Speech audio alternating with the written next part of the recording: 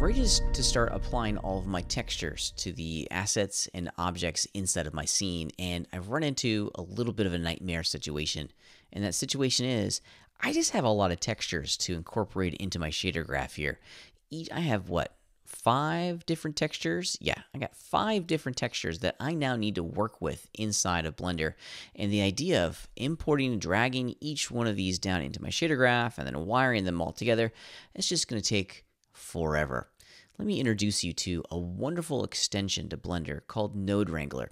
This is a free addition to Blender that's already installed inside of your machine. You just need to activate it.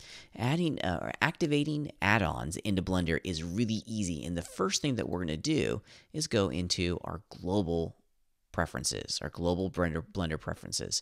And we start this process by going into the add-on sections. Often we're in the interface when it first pops up, but we're going to go into add-ons. Like I mentioned, Node Wrangler is a free addition to Blender that's already part of the bundle that comes with each one of the installers. We just need to turn it on. So we're going to do a search for Node Wrangler, and this is going to help us. There it is, Node Wrangler. Just all you need to do is simply activate it by clicking the little checkbox here, and the plugin will be immediately installed. You don't even have to restart Blender, which is pretty great. Node Wrangler is going to do a lot of the heavy lifting of wiring in all of these textures for us automatically in the background, which is very, very appreciative, uh, appreciated in this specific moment. Let me go to the branch material and let's start this process. Working with Node Wrangler is super easy. The only thing that you need to make sure you do before you start the process is to select the shader that you want all these uh, all these images to be wired into. So I want this shader to accept all the images, and then the magical keyboard shortcut is Control Shift T. T is in Tango. Now, the moment you hit the T key, it's going to bring open your bring open your Finder, and you're going to need to navigate to where you've saved all the textures for your for the object that you're trying to work with. So here's all the textures for my scene, and there are a bunch of them in there. And I'm going to I'm going to drag or I'm going to click um, select all the textures from my branch. Now I click, clicked on the first one held down the shift key and clicked on the last one and it selected all of them in between. And then watch what happens when I hit principled texture set down here. This is the magic. Voila! It automatically imported all the images into my graph and wired them to their appropriate and correct channel inside the shader itself. Magic. Thank you, Node Wrangler. Upon inspection, you can see exactly what's going on. It's not too different than what we've uh, what we've talked about before. The base color image is going into the base color channel.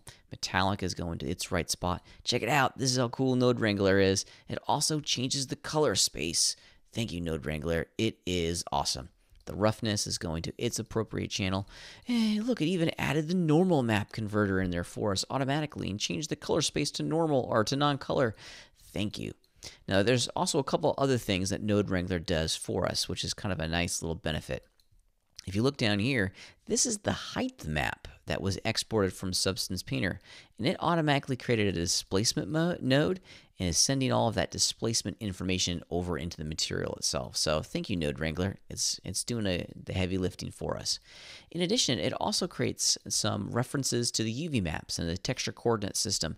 This isn't not really necessary, but it's just kind of good structure, if you will.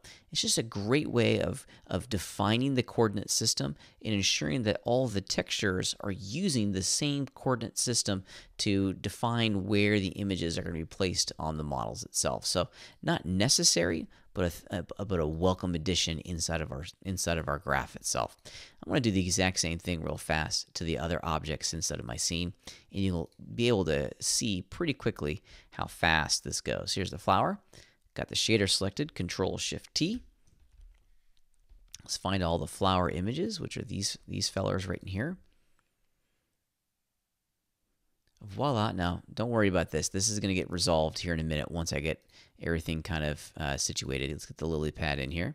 See how the moment I clicked into another shader, it went away. Yeah, it's uh, don't freak out if that happens to you. Just keep going. Trust your material assignments. They are working. Sometimes when you're loading images, things get confused just for a moment. Control Shift T once again. Oops. Let me put my mouse cursor down on the graph. Control Shift T. This is for the lily pad get that in there. And what would have taken me a long, long time to get situated is going very quickly. I am so thankful for Node Wrangler. It really does make my life a whole lot easier.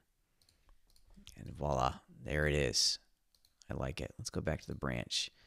And there it is. There's my scene, all textured, ready to rock and roll ready to be sent over into Sketchfab, and we're going to be talking about that process uh, next week. But all the textures are in. I can now uh, change my focus to the to the composition of my render, the lighting of my scene, and creating a wonderful series of, uh, of, of renders that really does a great job describing what I want my audience to see.